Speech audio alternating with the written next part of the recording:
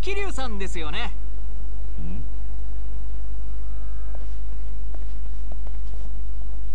あんたは瀬戸内ウォリアーズの？はい瀬戸内ウォリアーズの千葉っす。先日は助立ちありがとうございました。いやむしろすまなかったな。